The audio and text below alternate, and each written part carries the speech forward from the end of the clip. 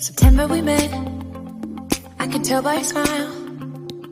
You hadn't been with a good girl like me in a while. Yeah, you were impressed